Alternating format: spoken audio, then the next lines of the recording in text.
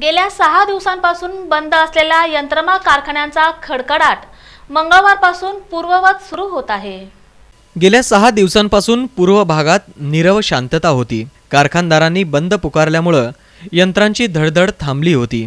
Provident fund लागू करण्याच्या आदेशासह अन्य कारणांमुळं कारखानदारांनी बंदचा पवित्रा घेतला होता. बंदमुळं कारखानदारांचं नुकसान तर झालंच.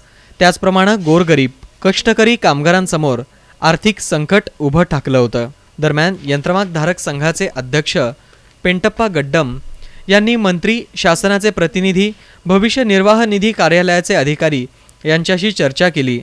या संदर्भात कारखानदारांची नेतेगणांची बैठक होऊन विचारमंथन घडवत कामगारांच्या भावनांची कदर केली.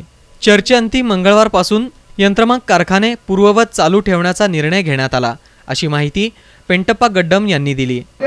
आपल्या इंडस्ट्रीला अलीकडच्या म्हणजे अल्प नफ्यात आणि काही कारखानदारामध्ये म्हणजे नफाच नाही आहे असं असताना आम्ही आमची कामगारांची बोजा एकतर बँकेची बोजा आणि आपली उत्पादनाची उत्पादनाचा तो प्रश्न आहे. कामगारांची बोजा ठराविकपर्यंत पेलतं त्याच्यानंतर पेलत नाही. म्हणजे आपल्या किंमत वाढून ते आपण पा पाठवू शकत नाही. हे आपल्या निवेदनामध्ये दिलं आहे कामगाराकडून आम्हाला काम करून घ्यायचं आहे. कामगार आणि मालकचं रिलेशन आहे. याच्या अगोदरसुद्धा मालक टॅक्स किंवा इतर प्रश्नावरती बंद ठेवलेला आहे.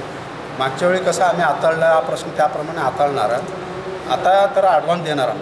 मंगळवार पगार आणि ॲडव्हान्स देणार आणि तो प्रश्न कसा द्यायचा किती द्यायचा पुन्हा पुढच्या याच्या मिटिंगमध्ये आपण हे करू.